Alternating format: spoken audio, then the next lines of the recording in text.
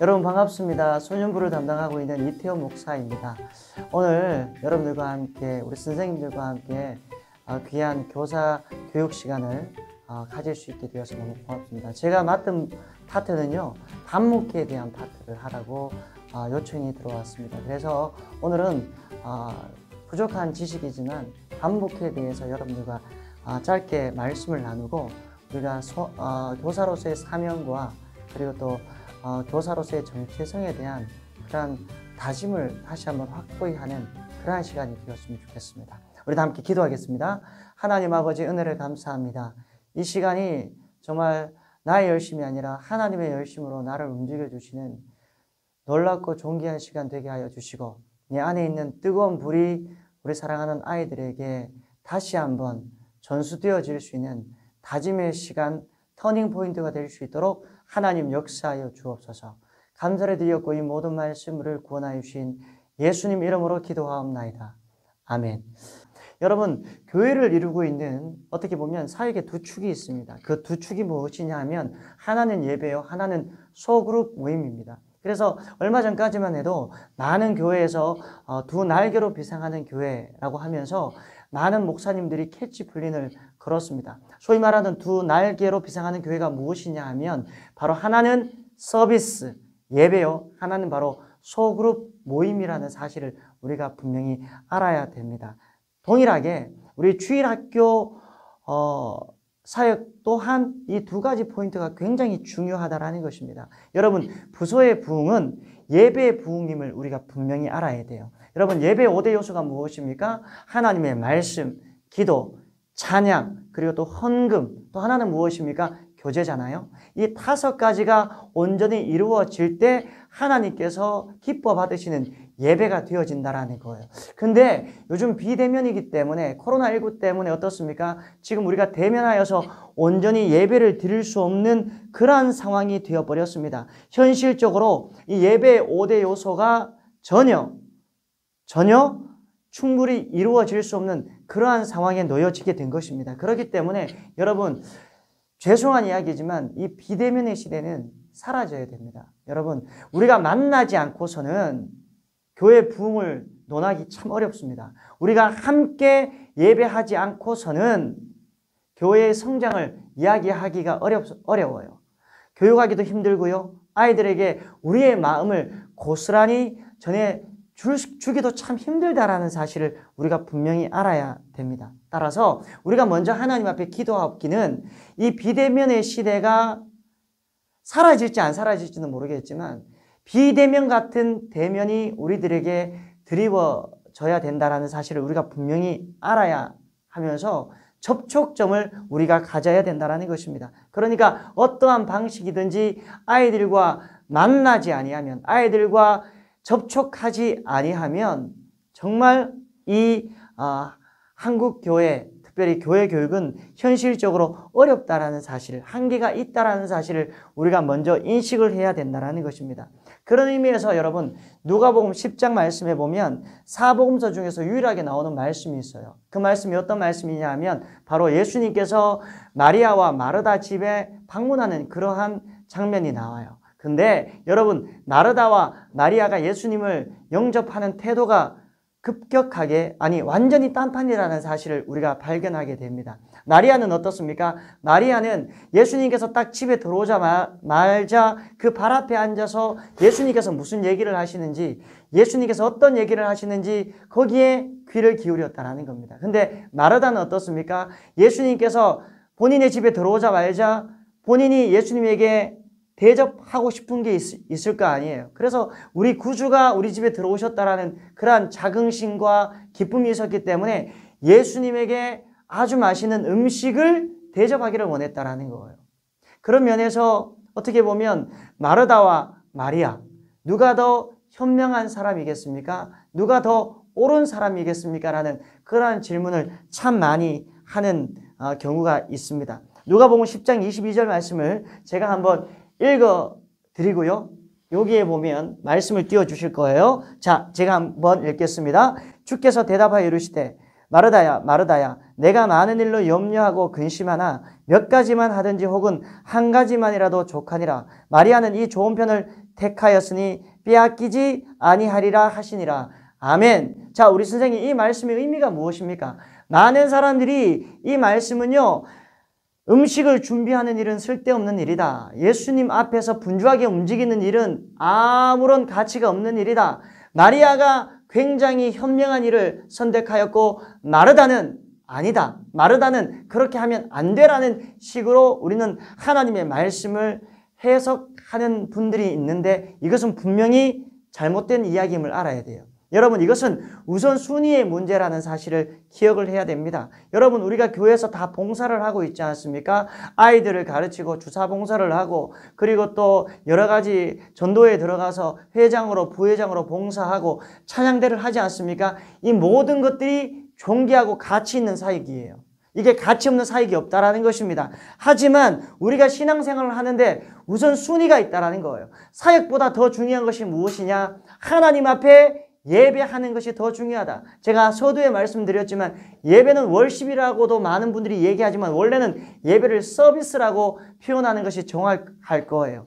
하나님 앞에 먼저 예배하고 하나님 앞에 먼저 봉사하고 그 다음 사람들을 위하여서 봉사하는 것이 우선순위라는 사실을 우리가 알아야 돼요. 여러분 피조물인 우리가 이 땅에 분명히 존재하는 분명한 이유가 무엇입니까? 우리의 존재 가치는요. 하나님 앞에 예배하기 위하여서 우리가 모여서 그리고 또 사역하고 우리가 존재하고 있다는 사실을 분명히 알아야 됩니다. 그러니까 교사 사역의 가장 중요한 가치가 무엇입니까? 예배의 부흥이 부서의 부흥임을 우리가 분명히 알아야 돼요. 이사에서 43장 말씀에 보면 하나님께서 우리를 창조하신 목적에 대해서 뭐라고 얘기하고 있습니까? 우리의 찬양을 들으시기 위하여서 우리의 찬양을 받으시기 위하여서 우리를 창조하셨다라고 얘기하고 있습니다. 웨스터민스터 소유리 문답 1번에 보면 인간의 제일 되는 목적이 무엇인가? 바로 사람의 제일 되는 목적은 하나님을 영화롭게 하고 영원토록 하나님을 즐거워하는 것이다. 이겁니다. 다시 말하면 우리가 지금 이 세상 살아나가는데 가장 중요한 가치가 무엇이냐 하면 하나님 앞에 예배하는 것임을 우리가 잊지 말아야 된다는 것입니다. 이런 얘기하면 우리 선생님들이 어떠한 반응을 보이십니까? 아니 목사님 우리가 너무나 잘 알고 너무나 잘 인식하고 있는 것을 목사님께서 좀 강조하시면 어떻게 합니까? 교사 교육인데 좀 새로운 것을 얘기해 주세요. 이렇게 말씀하시는 분들이 있을 줄 모르겠지만 여러분 예배, 예배가 정말로 중요하다라는 거예요. 우리 아이들이 예배가 정말로 가치 있고 소중하고 하나님을 향한 우리의 심령을 녹아 드림으로 말미암아 하나님 앞에 예배하는 것이 이 세상에서 가장 존귀한 일임을 우리가 아이들에게 머리에 쥐가 나도록 가르쳐야 된다는 겁니다. 여러분 신방할 때 전화할 때 개인 경근 체크하는 거 중요합니다. 야 큐티에서 그리고 또 가족들이 모이면 야 가족 예배 드렸어? 가정 예배 드렸어? 이렇게 묻는 것보다 여러분 가장 아이들에게 강요해야 될 것이 무엇이냐 하면 강조해야 될 것이 무엇이냐 하면 주일 예배를 했느냐 안 했느냐 비대면으로 예배한 아이들이 있다면 너 예배했느냐 안 했느냐라고 계속적으로 여러분들이 점검해야 된다는 것입니다. 점검하고 계속적으로 아이들이 예배에 대한 열정을 가질 수 있도록 예배를 계속적으로 추구할 수 있도록 우리 선생님들이 교육을 해야 된다는 것입니다. 아이들의 인식이 바뀌어야 된다는 것입니다. 그러니까 아이들이 주일날 딱 일어나면 의식적으로 예배에 튕겨져 나와야 된다는 그러한 교육을 여러분 우리 교사 선생님들이 계속적으로 시켜야 된다는 것입니다.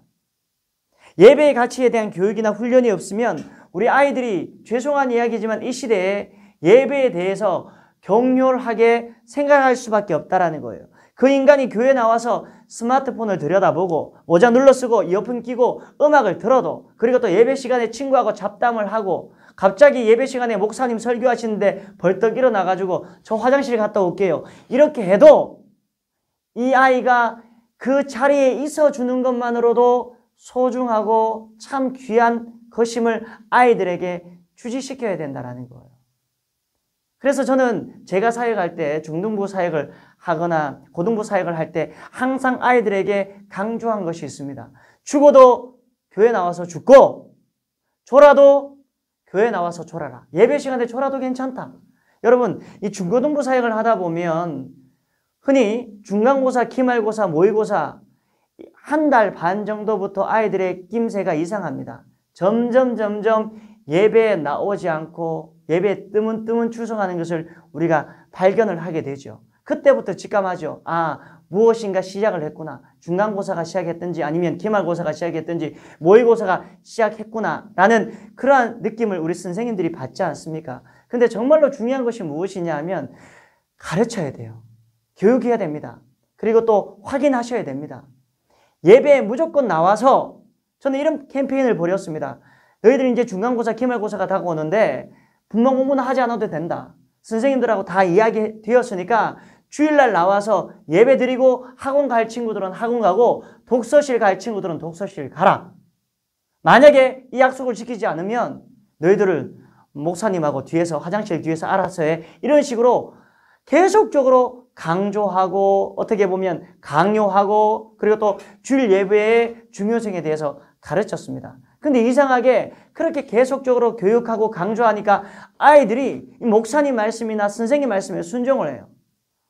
그래서 주일 예배 잠깐 나와서 예배 시간 줘라도 예배만 드리고 빠빠이 하고 돌아가도 아이들이 어느 순간에 그래 주일 예배까지 나왔는데 내가 분만 공부 못하고 가랴라는 그러한 생각을 가지면서 아니 참 이상하게 자꾸 교육하고 강조하니까 아이들이 중간고사 때나 평일 때나 기말고사 때나 평, 평상시의 어떤 주일 예배나 별로 차이가 나지 않음을 발견하게 되었다는 겁니다. 왜냐하면 인간의 생각과 인간의 판단으로 아이들에게 강조하고 강요하면 이것이 되겠나라는 그러한 생각을 하지만 아이들의 귀는 열려 있습니다. 아이들의 마음은 선생님이 그리고 또 우리 목사님이 강조하고 그리고 또 교육하면 아이들은 그것을 받아들일 용기가 있다는 겁니다. 계속적으로 이런 식으로 강조해야 된다는 거예요. 그리고 또 한 가지 우리가 하나님 앞에 왜 예배해야 됩니까? 예배를 통하여서 교사인 내가 먼저 체험을 받을 수 있다는 것입니다. 여러분 한번 생각을 해보십시오. 채워지지 않는 상태에서 내가 가지고 있는 것을 아이들에게 흘려보낸다는 것은 모순입니다. 내가 차고 넘쳐야지 성령 충만해야지 아이들에게 흘려보낼 것이 있는 것이 아닙니까? 근데 나에게 예수가 없는데, 나에게 생명이 없는데, 나에게 영적인 파워가 없는데, 어떻게 아이들에게 쥐어짜도 아이들이 그 은혜의 단비를 맞지 못하는데, 아이들이 어떻게 성장하고 성숙할 수가 있겠습니까?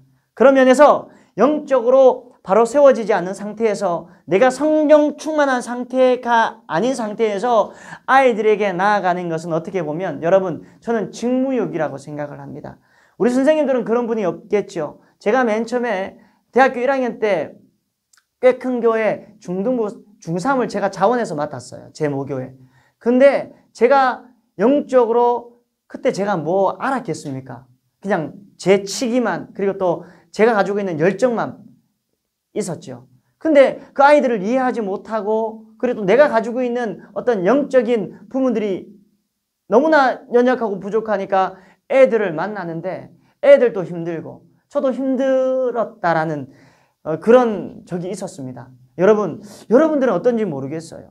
시시껄렁하게 여러분 분만 공부 시간에 시간이나 때우고 오늘은 애들 오랜만에 만나니까 떡볶이나 뭐 한번 사주고 헤어지면 되겠다. 떡볶이 사주는 거 중요하죠. 피자 사주는 것 정말로 중요합니다. 하지만 진짜 여러분들이 성령 충만한 상태에서 여러분들이 예배 드리고 말씀이 충만한 상태에서 말씀을 통하여서 흘려보내는 것하고 그냥 만나서 인간적으로 짜내는 것하고는 굉장히 큰 차이가 있다는 사실을 우리가 분명히 알아야 된다라는 것입니다. 분명 공부 안 하는 것보다 떡볶이 사주는 게 낫지만 피자 사주는 게 낫지만 치사, 치킨 사주는 것 주는 게 낫지만 내가 성령 충만한 상태에서 복음을 이야기하고 내가 하나님의 마음으로 우리 아이들을 대할 때 우리 아이들이 나를 통하여서 예수 그리스도의 마음을 전수받게 되어진다라는 사실을 우리 선생님들은 기억을 해야 됩니다. 목사인 저도 그렇습니다. 제가 말씀이 없으면서 성령 충만하지 않으면서 아이들에게 어떻게 생명을 나눠줄 수가 있겠습니까? 작년 신방을 가도 여러분 두나미스 권능이라고 하죠. 사도행전 1장 8절 말씀해 보면 성령이 너에게 임하면 뭐라고 합니까? 너희가 권능을 받고 여기서 말하는 두나미, 두나미스예요. 두나미스는 무슨 의미입니까? 다이나마이트의 어원이죠. 그러니까 내가 성령 충만하면 나에게 영적인 폭발력이 있을 때 그 영적인 폭발력이 우리 아이들에게 전수되거나 전이 되어진다라는 사실을 분명히 알아야 돼요. 근데 내가 아무것도 가지지 않았으면서 내가 성령으로 그리고 또 내 마음이 뜨거워지지도 않았으면서 성도들을 대하면 어떻게 지금 코로나19 이 시대에 지쳐 있고 힘들어하고 있고 어려워하고 있는 성도들에게 도움이 되어주고 그리고 위로가, 위로가 되어지고 그리고 또 어떻게 힘이 되어줄 수가 있겠습니까? 여러분 예배하지 않고 말씀 듣지 아니하시는 우리 선생님들은요 마르다를 보십시오. 예수님에게 내가 지금 힘들어 죽겠는데 저 인간이 나를 도와주지 않으니까 예수님께서 한마디 좀 해주세요. 이렇게 지금 말하고 있잖아요. 쉽게 말하면 지금 불평, 불만이 가득 찬 상태입니다. 그리고 지금 참소하고 있는 것을 우리가 보게 되죠. 여러분, 마귀가 하는 일이 뭐예요? 일러 바치는 일이에요. 참소하는 일이라는 것입니다. 참 못난 사람이 되어버립니다. 당연합니다. 왜 그렇습니까? 내가 복음이 없는데, 능력이 없는데, 파워가 없는데, 목자의 열정이 없는데, 어떻게 아이들에게 내가 가지고 있는 뜨거움을, 내가 가지고 있는 복음을, 내가 가지고 있는 예수님을 전수하겠습니까? 여러분, 지금 주일학교 사역이 참 힘들다고 하죠. 왜 주일학교 사역이 이렇게 되었습니까? 우리의 신앙이 어떻습니까? 율법적인 신앙을 우리가 가지고 율법적인 신앙을 우리 아이들에게 지금 전수하는 것 아닙니까? 아이들 만날 때마다 뭐 저도 그럴 적이 굉장히 많은데 뭐 하지 마. 저거 하지 마. 이거 하지 마. 졸지 마. 예배 시간에 헌금 떼먹지 마. 하면서 아이들에게 계속적으로 강조만 하는 것이 지금 어떻게 보면 우리 교회 학교의 교수법이에요. 우리가 세상보다 아주 조금 나은 것이 무엇입니까? 세상 사람들은 죄를 지어도 주저하지 않고 그냥 나가버려요. 근데 우리 믿는 사람들은 안 돼, 안 돼, 갈까 말까, 할까 말까, 그리고 또 이걸 해야 되나 말아야 되나 고민하다가 조금 뒤처져서 언젠가는 그것을 하고 만다라는 겁니다. 고민하고 갈등하고 이것만으로도 어떻게 보면 대단한 것이지만 우리 선생님들이 죄 짓지 않고 세상 따라가지 않으려는 그런 애쓰는 마음이 있다라는 것은 정말로 칭찬 들을 만한 일이라고 저는 생각을 합니다. 지난 시간에 우리 오진성 전도사님 말씀 전하셨잖아요. 예, 저도 은혜를 받았지만 오진성 전도사님이 그토록 강조한 그 복음, 예수님만 생각하면 눈물이 흐르고 감격하여서 아무것도 할 수 없을 정도의 풍성한 하나님의 사랑을 내가 먼저 경험할 때 우리가 세상 사람들보다 조금 뒤처져 가는 인생이 아니라 완전히 세상 사람들과는 구분되어진 그러한 인생을 살아갈 수 있다는 사실을 우리가 분명히 알아야 된다는 겁니다. 그런 의미에서 10편 34편 8절 말씀에 보면 보십시오. 이런 말씀이 있습니다. 너희는 여호와의 선하심을 맛보아 알지어다. 그에게 피하는 자는 복이 있도다. 너희는 여호와의 선하심을 맛보아 알지어다. 그에게 피하는 자는 뭐라고요? 복이 있도다. 어떤 목사님이 이런 얘기를 하시더라고요. 쾌락을 억제해야 행복한 것이 아니고 행복해야 쾌락을 억제할 수 있다. 다시 한번. 쾌락을 억제해야 행복한 것이 아니고 행복해야 쾌락을 억제할 수 있다. 무슨 말입니까? 죄 안 지으려고 억제하고 억제해서 죄를 지을 수 없는 것 아닙니다. 내가 진짜 행복해야지 여러분 쾌락이 억제되어진다라는 겁니다. 내가 진짜 성령 충만해야지 내가 진짜 예수님으로 말미암아 그 복음으로 내가 정말 내 심정이 뜨거워야지 내가 먼저 복음을 누려야지 우리 아이들에게 너무나 아름답고 선한 예수님의 영향력을 흘려보낼 수 있다는 거예요. 여러분, 다시 한번 강조합니다. 우리 선생님들이 먼저 예수님을 누리십시오. 먼저 우리 선생님들이 성령으로 충만하십시오. 기도하십시오. 말씀에 집중하십시오. 그리고 또 하나님이 주신 열심을 여러분들이 가지십시오. 간절히 소망합니다. 그 하나님의 사랑, 일하심, 능력과 권세, 풍성한 사랑, 우리의 삶 속에서 우리 선생님들이 먼저 경험하는 귀한 은혜의 역사가 있기를 주님의 이름으로 소망합니다. 주님의 이름으로 소망합니다. 여러분, 우리 아이들 가만히 보면 어, 영아부, 유치부, 유년부, 소, 초등부 아무 생각 없이 앉아 있는 것 같지만 지금 가만히 보면 이 아이들이 아무것도 듣지 않는 것 같지만 여러분 다 듣고 있다라는 사실을 알아야 돼요. 지금 알지 못하고 있다라고 여러분들이 선입견을 가지는지 모르겠지만 얘가 뭘 알겠어 이런 마음을 가지는지는 모르겠지만 여러분들 이미 이 아이들은 다 알고 있어요. 지금 우리가 보기에는 영적으로 온전히 연결지 않아서 영적으로 성숙하지 못해서 그렇지 이 아이들이요 예수님 뭔지에 대해서 우리 영화부 유아부 전도사님이 설교하고 유치부 전도사님이 설교하면 그 복음이 우리 아이들의 마음속에 깊이 내리워지고 깊이 가슴속에 박힌다라는 사실을 분명히 우리 선생님들은 아셔야 됩니다. 제가 본의 아니게 유년부 그리고 또 초등부, 소년부 부흥회를 한번 인도해 봤는데요. 뭐 제가 뭘 알겠어요. 근데 제가 복음을 얘기하고 예수님을 이야기하고 찬양하니까 진짜 아이들이 대성통곡을 해요. 대성통곡을 하는데 선생님하고 같이 끌안고 어떤 친구들은요. 3, 40분 동안 계속 울어요. 예수님이 나를 위해서 십자가에 달려 돌아가신 것 그것만 생각하면 가슴이 아프대요. 그것만 생각하면 마음이 저려온대요. 그걸 말씀으로 듣고 기도하니까 그 구원의 기쁨이 있으면서도 불구하고 예수님 생각하면 눈물이 흐른대요, 여러분. 여러분, 내가 먼저 복음을 경험해야 됩니다.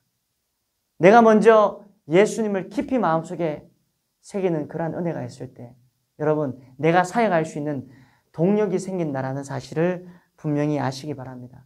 특별히 우리 교사 선생님들 중에 5년, 6년, 7년, 5년 이상 하신 선생님들이 있잖아요. 이 선생님들 보면 저는 참 대단하다라고 생각합니다. 어떻게 5년을, 10년을, 어떤 선생님들 보면 15년을, 20년을 하셨는지 몰라요. 아우, 저는 하라 해도 못할 것 같아요. 어떻게 그렇게 하셨어요? 제가 참 도전을 받습니다. 하지만 이러한 분들, 5년 이상 되신 분들은 먼저 내 자신을 스스로 또 점검할 수 있는 기회가 되는 시간이 되었으면 좋겠습니다. 이런 분들이 어떻게 보면 반대로 위험할 수가 있다는 거예요. 타성에 젖을 수가 있다는 것입니다. 왜냐하면 교사의 사역이 아니라 그것이 감투가 되고 10년, 20년 사역하다 보면 이것이 알게 모르게 명예직이 되어버리는 그러한 경우를 많이 발견했습니다. 제가 중고등부 사역을 할 때에도 어떤 그 이전에 있던 교회에 H 권사님이라는 분이 계셨습니다. 근데 그 권사님은 도저히 제가 봐도 연세도 연세지만 어, 중등부 아이들하고 접촉점이 이루어지지 않아요. 그러니까 쉽게 말하면 아이들하고 전혀 커뮤니케이션이 이루어지지도 않고 아이들은 이 얘기하는데 우리 권사님은 저 얘기하고 우리 아이들은 요 얘기하는데 우리 권사님은 뭐 이도 아닌 것이 저도 아닌 것이 하여튼 이상한 얘기를 내서 서로 서로 커뮤니케이션이 안 되는 그러한 상황에 놓여 있더라고요. 그래서 제가 한 번은 그 권사님을 불렀습니다. 권사님, 제가 애들로서 얘기를 했죠. 제가 볼 때는 권사님이 우리 중동부 애들하고는 맞지 않을 것 같으니까 권사님 너무 열심히 하셨는데 권사님 될 수 있으면 뭐 제가 생각할 때는 아, 권사님 이제 연세도 드셨으니까 찬양대 하는 게 어떻겠냐고 제가 아주 부드럽게 아주 자연스럽게 둘러서 말씀을 드렸는데 이 권사님이 기겁을 하시는 거예요. 나는 안 된다고. 나 꼭 해야 된다고. 나 이제 2년만 있으면 은퇴인데 나 중등부 2년만 더 있으면 안 되냐고. 그렇게 저에게 부탁을 하시는 거예요. 그러니까 왜 권사님 왜 자꾸 중등부 교사를 고집하시냐고 제가 물어보니까 노예에서 교사 근속 30년을 한 사람이 한 명도 없대요. 근데 본인이 이제 2년만 하면 교사 근속 30년 노예 첫 번째 사람이 그 어, 상을 받을 수 있는 대상자가 되어진다라고 이야기를 하시더라고요. 그러면서 권사님한테 웃으면서 제가 물어봤습니다. 뭐가 나와야 하니까 상품권이 나온대요. 얼마 나오냐가 하니까 50만 원이 나온대. 이마트 상품권인지 아니면 롯데마트 상품권인지 제가 잘 모르겠지만 50만 원이 나오고 그리고 또 어, 상품권이 나오고 그리고 또 뭐죠? 어, 이제 감사패가 나온대요. 그래서 본인이 그걸 꼭 해야겠다고. 본인이 어, 역사의 길이 남을 교회 30년 근속 그리고 또 노예 30년 근속의 권사님, 교사가 되고 싶다고 그런 포부를 밝히시더라고요. 저는 그 얘기를 들으면서 어느 정도 권사님이 이해는 되기는 되었습니다. 근데 여러분, 우리가 왜 목사를 합니까? 왜 우리가 교사를 합니까? 동남아 여행 가려고 그리고 또 교사, 목사 하는 거 아니지 않습니까? 노예와 총회, 뭐 트로피 하나, 감사패 하나 받으려고 문화상품권 50만 원, 이마트 상품권 2, 30만 원 받으려고 우리 교사 사역 하는 거 아니지 않습니까? 예수님이 그만큼 사랑하셨던 한 영혼 위해서 자신의 생명보다 더 귀한 한 영혼 위해서 우리가 사역하고 우리가 애쓰고 우리가 노력하는 것 아닙니까? 여러분, 이런 얘기해서 정말로 죄송한데 제가 새벽 예배 오면 새벽에 계시는 우리 선생님들이 혹시 왔나 하면서 둘러봐요. 근데 요즘에 꽤 새벽 예배 오시는 분들이 많이 있거든요. 근데 새벽 예배 교사들 가만히 체크해 보면 뒤에서 가만히 앉아서 제가 보려고 본 게 아니에요. 다섯 명이 안 돼요. 네 명이 안 될 때가 있어요. 세 명이 안 될 때가 있어요. 여러분, 정말 여러분들이 양심이 있으면 저와 여러분들에게 맡겨진 영혼 위해서 적어도 일주일에 두세 번은 기도해야 되는 것 아닙니까? 아니, 한 번이라도 그 영혼 위해서 스프랑케 니조마이 예수님께서 오병이어 사건 때 배고파하는 그 영혼을 바라보면서 극률함을 여기셨듯이 창자가 끊어지는 아픔을 느끼셨듯이 그 영혼들 위해서 한 번이라도 우리가 여러분 양심이 있으면 기도해야 되는 것 아닙니까? 안타까운 심정을 가지고 이 인간이 코로나19 시기를 잘 겪고 있는지 얘가 지금 사춘기인데 지금 엄마 아빠한테 함부로 도전하고 있지는 않은지 얘 지금 편모 가정에 있는데 편부 가정에 있는데 얘는 지금 잘 지내는지 밥은 잘 먹고 다니는지 여러분 소떼와 양떼 마음을 둬야 되는 것 아닙니까? 그런 의미에서 저는 진짜 교사 사역이 우리 교회 사역을 이루는데 가장 큰 사역이라고 생각을 해요. 제가 교사 교육을 하기 때문에 이런 얘기하는 것 아닙니다. 진짜 교사 사역이 하나님 보시기에 훌륭하고 저는 하나님 앞에 갔을 때 가장 큰 상급 중에 하나가 저는 교사 사역이라고 생각을 합니다. 내가 지금 교사 교육하기 때문에 진짜 이런 말 하는 건 아니에요. 여러분, 주차 봉사보다 10배는 힘들 거예요. 찬양대보다는 죄송한 이야기지만 4, 50배는 힘들 것입니다. 왠지 아세요? 우리가 영혼을 다루는 그러한 극한 직업, 극한 작업을 우리가 하고 있기 때문에 그렇습니다. 제 말씀은 다른 사역이 중요하다라는 것이 아닙니다. 교사는 영혼을 다루고 있기 때문에 우리들에게 맡겨진 그 영혼을 날마다 대하고 그들을 위하여 기도해야 되기 때문에 우리의 사역이 정말로 어렵고 가치가 있는 사역이라는 거예요. 여러분 한번 생각을 해보십시오. 의사는 여러분 수술할 때 메스를 들어요. 환자의 배를 가릅니다. 근데 우리가 가지고 있는 이 메스가 녹이 슬거나 아니면 이물질로 더럽혀졌다라고 오염되었다라고 여러분 한번 생각을 해보십시오.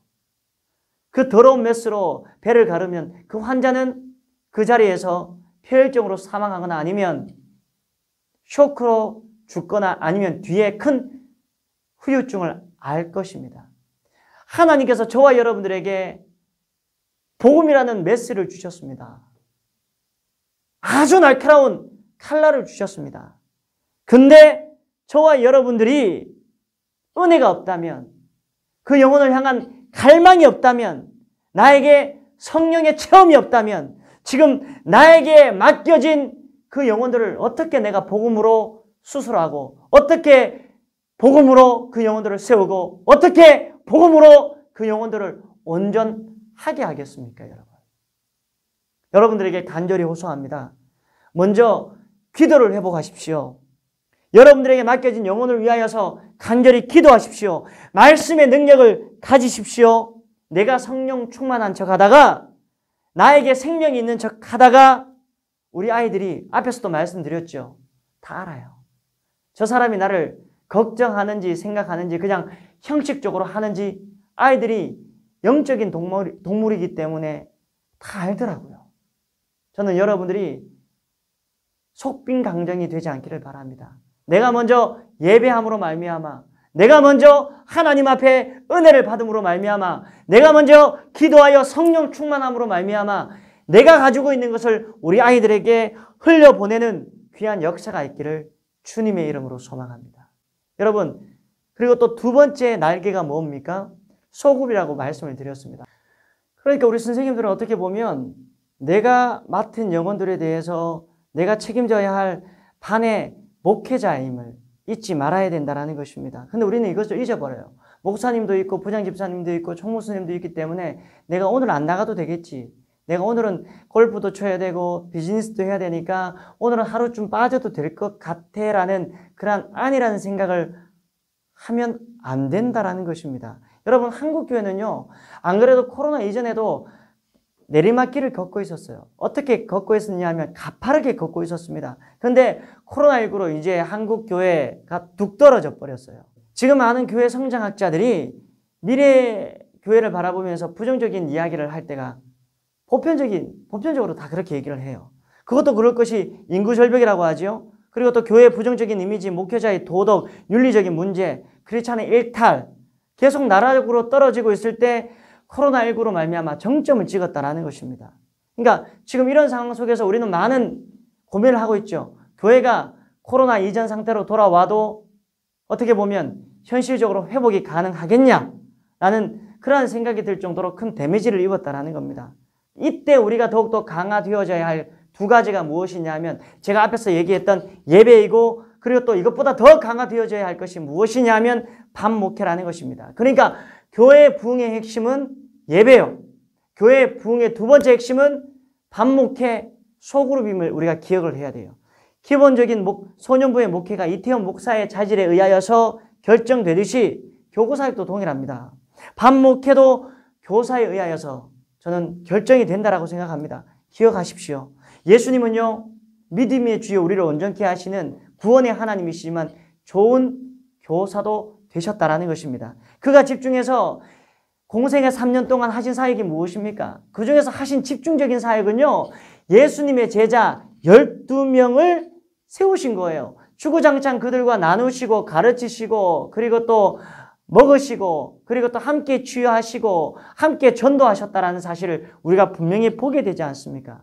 그러니까 그 12명의 제자들이 어떻습니까? 정말로 변하지 않을 것 같지만 예수님의 제자 훈련, 예수님의 반목회로 말미암아 이 시대를 변화시키는 귀한 예수님의 열두 제자가 되지 않습니까? 우리도 이런 마음으로 우리들에게 맡겨져 있는 영혼들을 대해야 할 것입니다. 기껏 해봤자 여러분 우리가 맡은 인원 12명 안 되잖아요. 그 아이들에게 집중해야 된다는 것입니다. 그러니까 정말로 중요한 것은 내가 목회자, 목자라는 사실을 잊어서는 안 된다는 겁니다. 자, 그렇다면 예수님께서 선한 목자의 특징에 대해서 우리들에게 말씀을 주셨습니다. 요한복음 10장 11절에서 16절까지의 말씀을 읽어보면 어, 진정한 어, 선한 목자와 그리고 또 사건에 대해서 나와 있어요. 특별히 어, 16절 말씀을 한번 띄워주시겠습니다. 요한복음 10장 16절 말씀을 제가 있습니다. 또 우리에게 들지 아니한 다른 양들이 내게 있어 내가 인도해야 할 터이니 그들도 내 음성을 듣고 한 무리가 되어 한 목자에게 있으리라 라고 얘기하고 있습니다. 제가 시간이 없어서 10절에서 16절까지의 말씀을 다 읽어드리진 못했겠지만 여러분 진짜 진정한 목자의 모습은 두 가지로 표현될 수 있습니다. 첫 번째, 양들을 위하여 목숨을 버릴 수 있는 목자가 진짜 목자라는 것입니다. 사꾼은 자기의 이익을 위하여서 양을 버리거나 양을 외면합니다. 하지만 선한 목자는 어떠한 희생에 따르더라도 양들을 보호하고 살아하는 거예요.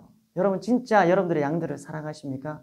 두 번째는 무엇이냐 하면 내 양들을 보면 이 양들이 어떠한 상황인지를 내가 잘 이해하고 파악하고 그들을 안다라는 거예요. 여러분들에게 맡겨져 있는 그 영혼들 여러분들이 잘 알고 계십니까? 자, 제가 한번 그림을 하나 보여드리겠습니다. 이게 무엇이냐 하면 여러분 제가 지난 교회에서 사역했던 우리 성도들에 대한 기도 제목을 저렇게 적어 놓은 거예요. 제 교구록에는 항상 성도들의 기도 제목과 신상 파악을 기록하고 있는 내용입니다. 빼곡하게 제가 적으려고 애를 써요. 지금도 어, 요람에 우리 구역원들 그리고 또 우리 아이들의 기도 제목을 제가 기록을 하고 있습니다. 혹시 여러분들은 목자로서 여러분들의 맡겨져 있는 그 양들에 대해서 정말 잘 안다고 생각하십니까? 잘 살피고 있다라고 생각하십니까? 그런 의미에서 여러분 반목회를 한번 정의해 보겠습니다. 정 의해 보겠습니다. 한번 띄워 주십시오. 하나님을 인격적으로 만나 예수 그리스도를 개인의 구주로 영접하도록 인도하며 주님이 오시는 그날까지 그리스도인다운 삶을 살도록 하며 더 나아가서 예수 그리스도의 증인이 되게 하는 것 이게 바로 반목회예요. 얼마나 여러분 쉬운 것 같지만 이만큼 어려운 것이 없다라는 거예요. 이것을 쉽게 말해서 우리는 반목회를 두 가지로 나눌 수가 있는 것입니다. 가르치는 일, 교수와 다른 하나는 어, 케어하는 것, 볼 살피는 것, 양육하는 것, 이 두 가지예요. 자, 가르치는 것은 하나님의 말씀을 가르치는 거예요. 양육은 여러분 케어가 들어갑니다. 그러니까 이 두 가지, 교수와 양육이 다 들어가야 균형 잡힌 반목회가 이루어진다는 사실을 우리가 알아야 돼요. 근데 우리가 자꾸 사랑을 강조하다 보니까 너무 케어하다 보니까 그 아이의 영적인 상태는 관심이 없고 단지 그 아이의 감정, 그 아이의 기분 상태에만 우리가 몰두하다 보니까 우리는 어떻게 보면 가르쳐야 할 때 제대로 못 가르칠 때가 있습니다. 여러분, 가르쳐야 할 때 제대로 가르치는 것이 어떻게 보면 교사가 해야 할 일이에요. 자, 우리 친구들, 그 김인환 목사님의 책 중에서 교사들이여 가르치지 말라라는 그러한 책이 있습니다. 제목은 그런 책이지만 그분의 이야기가 무엇이냐 하면 삶을 통해서 가르치래요. 사랑을 통하여서 내 모습을 보고 교사들을 보고 목사님을 보고 이 아이들이 변화될 수 있게끔 하래요.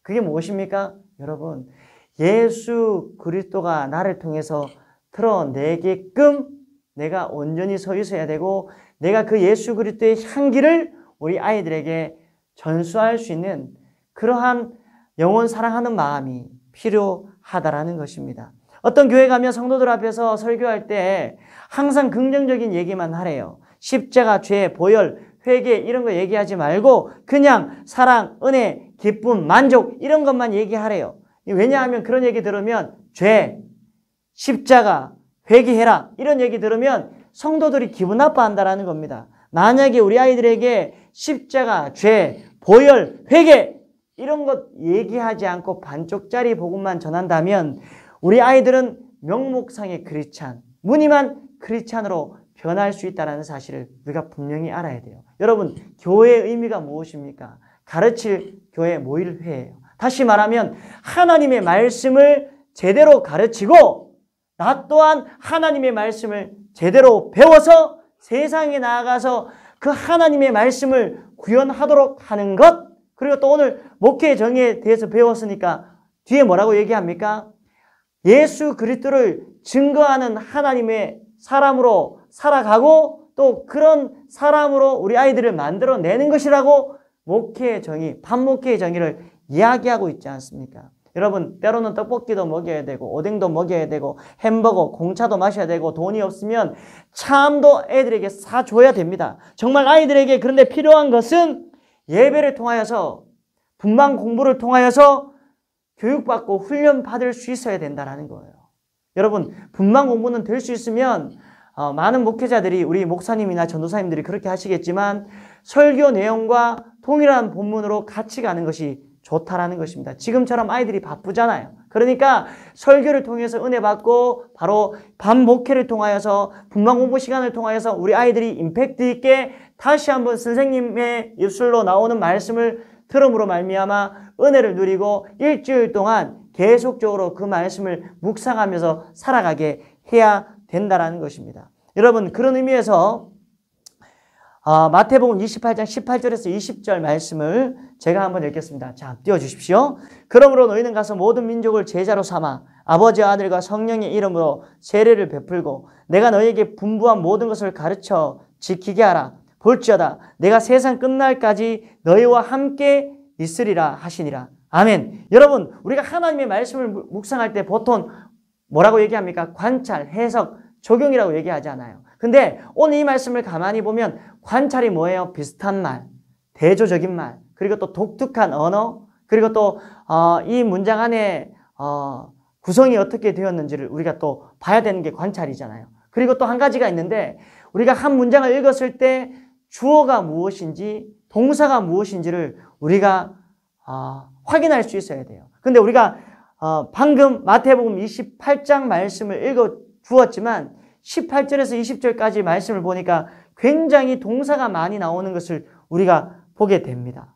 자, 여기서 말하는 주동사가 무엇이겠습니까? 타동사는 여러분 가짜 동사를 얘기하는 것이죠. 주동사가 뭘 얘기하는 것이겠습니까?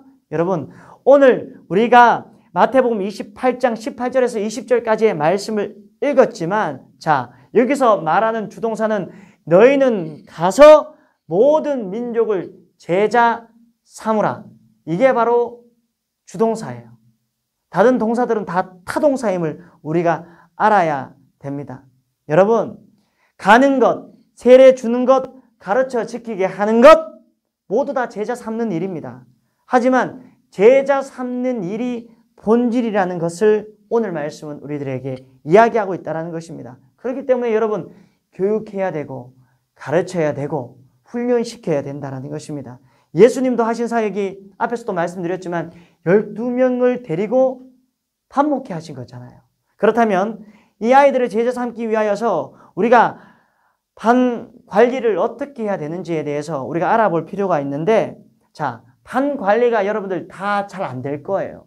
그런 의미에서 블레스 휠트라는 목회자가 이런 얘기를 합니다. 반 목회자가 반 목회가 안 되는 세 가지 이유가 있대요. 첫 번째는 무엇이냐면 학생을 통솔할 수 있는 능력, 아이를 통솔할 수 있는 능력이 부족하다. 다시 말하면 영적인 리더십이 부족하다. 여러분 어떻습니까? 여러분들이 가지고 있는 영적인 리더십이 있습니까? 인간적인 거 말고요. 여러분 예수님으로 충만한 그런 삶을 살고 계십니까? 두 번째는 무엇이냐면 교사 자신의 인격적인 결함. 여러분 어떻습니까? 우리 아이들을 가르치는데 우리 아이들에게 말씀을 전하는데 뭐 저도 부족한 점이 많지만 회개할 것들이 많지만 여러분들의 모습은 어떻습니까? 세 번째는 무엇이냐면 교사들의 사명감 결함이라고 얘기하고 있습니다. 여러분 혹시 여러분들 교사하는 것이 어떻게 보면 그냥 형식적으로 앞에서도 말씀드렸지만 매너리즘으로 하루하루 교교 견뎌내는 그러한 삶을 그러한 사역을 감당하고 있는 것이 아닙니까? 여러분 방 관리는 교사들에게 달려 있습니다. 주일에 하루 땡 하고 웃고 즐기고 피자 사주고 그리고 또 떡볶이 대접하고 이거 해야 돼요. 안 하면 안 돼요. 하지만 이것으로만 만족하시면 안 된다라는 겁니다. 진짜 영원 사랑하는 마음을 가지고 학생들과 함께 관계적으로 엮이셔야 돼요. 목사님도 우리 학생들과 우리 아이들과 관계적으로 엮일 때 어떻게 그 관계를 아이들이 풀려고 해도 풀 수가 있겠습니까? 엮여야지 여러분 아이들이 교회를 떠나지 않는다라는 거예요. 그러니까 여러분 목사님을 좋아하고 아이들이 그리고 또 선생님을 좋아하니까 아이들이 주일날 눈을 번쩍 뜨면 아 오늘 내가 목사님 저렇게 애원하는데 우리 선생님 저렇게 부탁하는데 내가 오늘 한번 교회 나가줘야 되겠다. 이런 마음 먹는 거 이거 굉장히 좋은 거예요 여러분. 처음에는 다 그렇게 나오는 겁니다 여러분. 우리 아이들이 선생님 생각할 때 맞아. 내가 의리로 나가줘야 돼. 우리 선생님이 이렇게 나한테 잘해주는데 우리 목사님이 이렇게 시간 내어가지고 나에게 이런 사랑을 주는데 내가 나가야지 이러한 마음이 들게끔 우리가 계속적으로 접촉점을 우리가 가져야 된다라는 겁니다. 여러분, 우리 아이들 진짜 호락호락하지 않습니다. 항상 우리 선생님들한테 제가 하는 얘기가 무엇이냐면 몇몇 되지도 않는 아이들 평일 때 어디서 무엇을 하는지 어떤 뻘짓거리를 하는지 어떠한 일을 하는지 우리 선생님들이 감찰해라. 왜 주일날 못 나오고 주일날 예배 드렸으면 비대면으로 예배 드렸는지 꼭 체킹해라 라고 항상 우리 선생님들한테 좀 죄송한 이야기지만 잔소리를 많이 합니다. 여러분, 이게 기본 중에 기본이에요. 자신들의 제자들이 어디서 무엇을 하든지 이 아이들이 지금 시대가 정말로 어두컴컴한데 사망의 음침한 골짜기를 지금 걸어가고 있음에도 불구하고 정말 우리들이 양떼에 마음을 두지 않는다면 여러분 이건 직무유기라는 사실을 분명히 아셔야 됩니다. 한 영혼 붙잡고 여러분들이 집착하십시오. 창념하십시오. 사랑하십시오. 그리고 여러분들이 진짜 마음으로 품으십시오. 그리고 또 기도하십시오. 여러분, 제가 오늘 말씀을 전하면서 부흥이라는 얘기를 많이 하지는 않았지만 영혼 사랑하지 않으면서 어떻게 여러분 부흥, 부흥을 얘기할 수가 있겠습니까? 소떼와 양떼의 마음을 두지 않으면서 어떻게 우리가 교회 성장을 이야기할 수가 있겠습니까? 이전에 잘 안 되는 교회, 주일학교에 처음 가보면 목사님이 전화하면 받고 우리가 전화하면 우리 무시해요. 이렇게 얘기하는 사람들이 있습니다. 이렇게 얘기하는 선생님들이 있습니다. 이건 우리 선생님들이 잘못 파악하신 것입니다. 제가 부임하고 나서 코로나19가 터져서 아이들을 제대로 만날 수 없을 때 될 수 있으면 우리 목사님들도 가만히 보니까 우리 전우사님, 강도사님 보니까 다 아이들 만나시더라고요. 어떠한 방법으로든지 아이들과 접촉점을 가지고 만나려고 애를 썼습니다. 근데 우리 아이들이 별로 없어서 그런지도 모르겠지만 거의 다 만났어요. 한 명 아니면 두 명 빼고는 아이들과 다 만났습니다. 두세 번씩.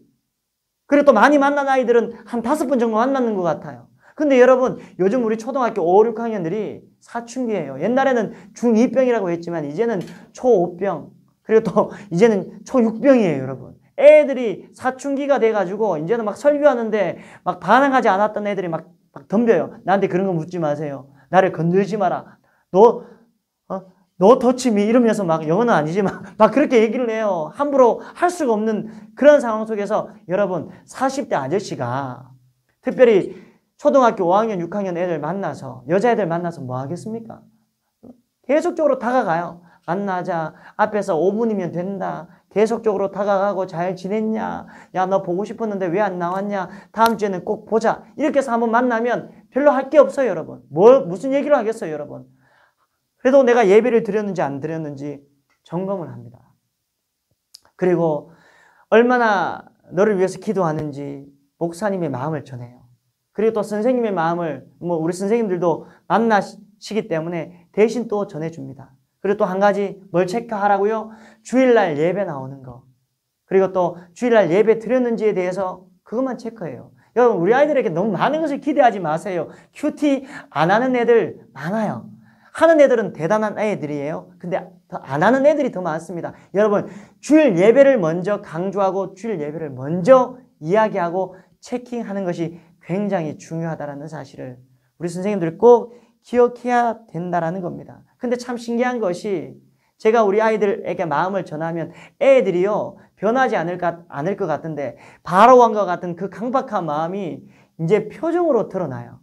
옛날에는 나를 뭐 이렇게 하면 어 왜 이래 이 남자 이왜 왜 이래 이렇게 막 밀어냈는데 요즘은 그렇지 않아요. 요즘에는 표정이 변해요. 아이들의 표정을 바라보면서 제가 얼마나 은혜 받는지 몰라요. 비대면이지만 조금 더딘 것 같은 느낌이 들어요. 저는 성격이 굉장히 지금 말하는 거 보세요. 굉장히 급한 편이지만 그래도 아이들이 조금씩 변하고 있다는 데 대해서 목회자로서 얼마나 감사하고 고마운 줄 모릅니다. 여러분, 내가 변화시키는 것이 아닙니다.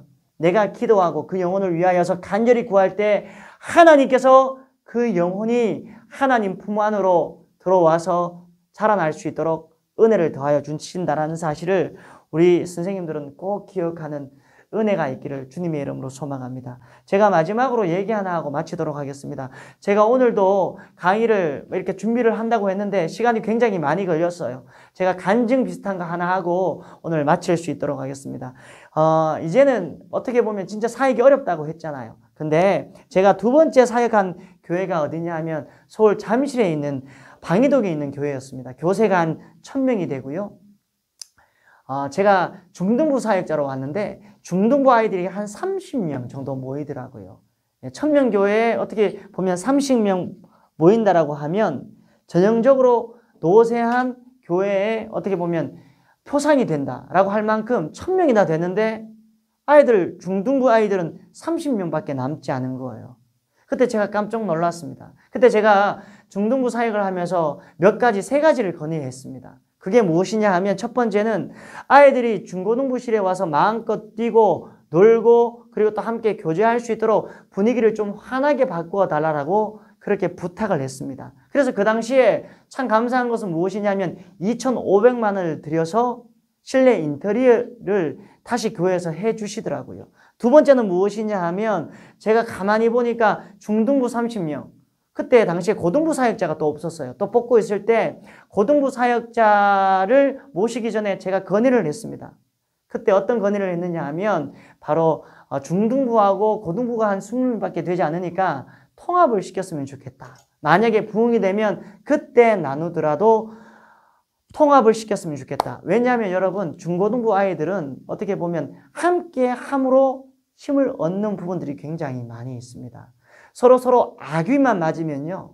서로 서로 아, 뭐 이제 바둑 용어인데 아다리만 맞으면 얘들이 붕되는 게 파급 효과가 있다는 사실을 제가 알았거든요. 그래서 한 50명 정도 이렇게 함께 예배를 드리는 걸로 시작을 했으면 좋겠다라고 건의를 했습니다. 근데 참 고마운 것은 교회 당회에서 그걸 다 받아주셨어요. 얼마나 감사한지 모릅니다. 그리고 또 세 번째는 뭐냐면 대대적으로 예배를 심플하게 했습니다. 기도하고 말씀 전하고 찬양하고 축복해서 예배를 굉장히 그 당시에는 파격적으로 변화를 시켰습니다. 지금은 우리가 다 그렇게 하고 있지만 분만 공부도 설교 말씀과 동일하게 이렇게 함께 나간 거죠. 근데 참 신기한 게 뭐냐 하면 이 세 가지 달을 우리 선생님들이 다 밀어주시고 또 당에서 그렇게 다 또 이렇게 찬성해 주셔가지고 제가 그때 교육전사였거든요. 신대원 2학년이었는데 저를 다 밀어주시더라고요. 얼마나 감사한지 몰랐습니다. 그때 제가 만난 분이 뭐 이렇게 우리 선생님들 중에서 대학 교수분들도 여러 분 계시고 한강 이남에서 가장 큰 교회 지금 원로 목사님 되셨는데 지금은 그 따님 둘째 따님이 아시아 연합신학대학원 영어과 교수인데 그분하고도 함께 사역하면서 얼마나 저를 저보다 한 네 살 많았나? 다섯 살 많았나? 저를 높여주시고 또 그 남편은 숭실대학교 교수님인데 저보다 한 여섯 살인가 일곱 살인가 많았는데 얼마나 저를 세워주시는지 몰라요. 근데 참 신기한 것이 무엇이냐 하면 그렇게 순종하고 교사와 선생님들이 한마음 한뜻으로 가니까 여러분 이 소위 말하는 부흥이 되더라고요. 제가 왜 이런 얘기를 하는지 아십니까? 여러분 좋은 목회자는 좋은 선생님을 통하여서 만들어진다는 거예요. 좋은 선생님은 좋은 목회자를 통해서 만들어진다라는 사실을 우리 선생님들은 분명히 알아야 됩니다. 지금 여러분들이 섬기고 있는 목사님, 전도사님, 강도사님, 여러분들 보기에는 좀 연약해 보이고 때로는 고집도 세 보이고 단순해 보이고 여러분들보다 사회 경험이 연약한 것 같이 보여도 여러분들 교육자를 사랑하고 신뢰하고 높여주고 여러분들이 기도로 받쳐주고 밀어주면 제가 볼 때는 우리 교회 교육자들 다 훌륭하고 엄청난 능력을 가지고 계신 분들이기 때문에 잠재력을 가지고 계신 분들이기 때문에 여러분들이 밀어주시면 저는 우리 교육자들을 통하여서 하나님의 역사, 하나님의 붕의 역사, 정말 주일학교가 성장케 되어지는 그러한 기적의 역사가 일어날 줄 믿습니다. 여러분들이 우리 교육자들을 섬겨주시고 그리고 또, 야, 우리 강도사님, 목사님, 옛날에는 이렇게 설교가 은혜롭지 않았는데, 아, 날이 가면 갈수록 강도사님, 목사님, 너무너무 설교가 좋아져요. 이렇게 칭찬 한마디라도 하면, 여러분, 우리 교육자들이 큰 힘을 얻을 것 같다라는 생각이 제 마음속에 듭니다. 여러분, 제가 왜 이런 얘기를 하느냐 하면, 우리 소녀부 선생님들은 저한테 100% 순종하세요. 만약에 100% 순종 안 하면 제가 이런 얘기 못 하겠죠.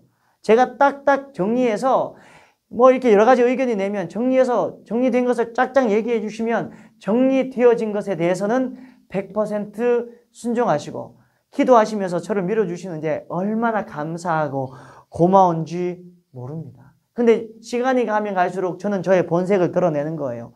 회의 때마다 잔소리를 하는 거예요. 전화해라, 만나라, 아이가 어디서 무엇을 하는지, 예배하는지, 영적인, 영적인 컨디션이 어떤지 점검하고 체킹, 체킹하고 또 체킹해라. 얼마 되지 않은 인원들, 만나지도 않고 코로나19로 영적으로 축 처진 그 심령들, 그거 회복시키는 것 쉽지 않다. 관심을 가져라. 사랑이다. 관심이다. 사랑하면 부흥한다. 여러분, 제가 우리 선생님들한테 항상 하는 얘기가 무엇이냐 면 부흥을 경험하지 못하면 절대 한 번 부흥을 경험하지 못하면 내 인생 부흥을 갈망하기도 힘들고 부흥을 또 경험하기 하는 것은 더욱더 어려운 사실임을 우리가 알아야 돼요. 여러분 결실을 맺으셔야 됩니다. 제가 말하는 것은 여러분 내적 외적 열매를 다 얘기하는 거예요. 아이들의 표정이 변하면 이건 하나님의 은혜구나.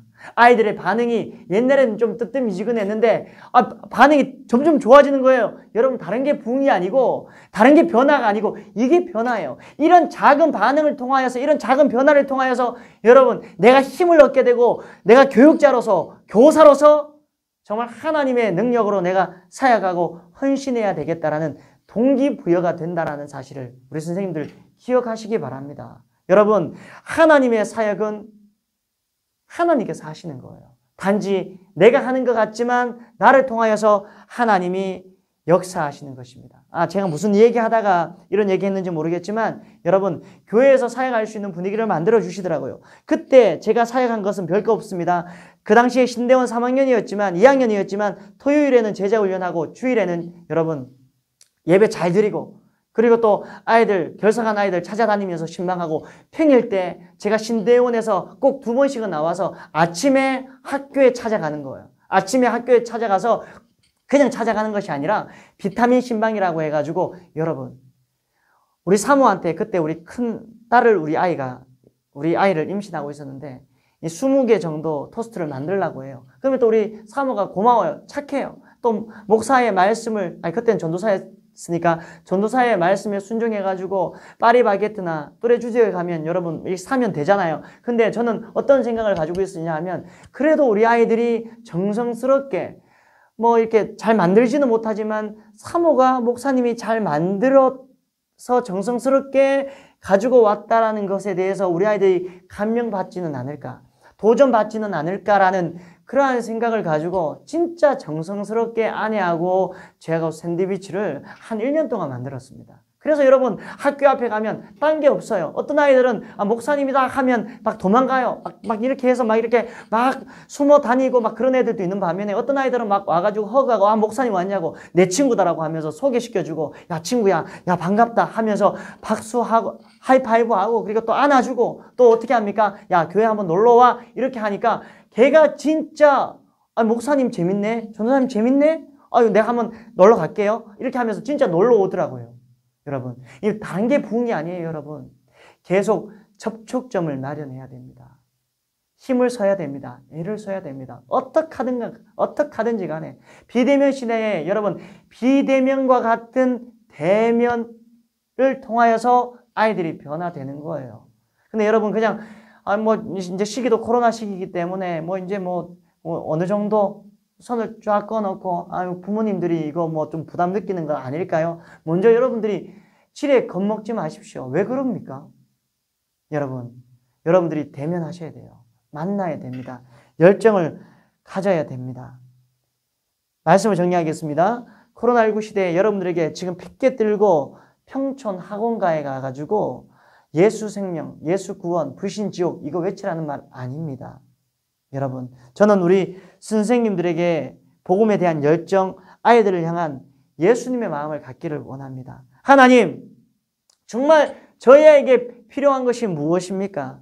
저희에게 필요한 것은 다른 것이 아니라 복음인데 예수님을 알아가는 그러한 지식, 저 아이가 예수님을 알아가는데 어떠한 희생이 필요합니까? 저 아이가 예수님을 알기를 원하는데 어떠한 대가 지불을 해야 됩니까?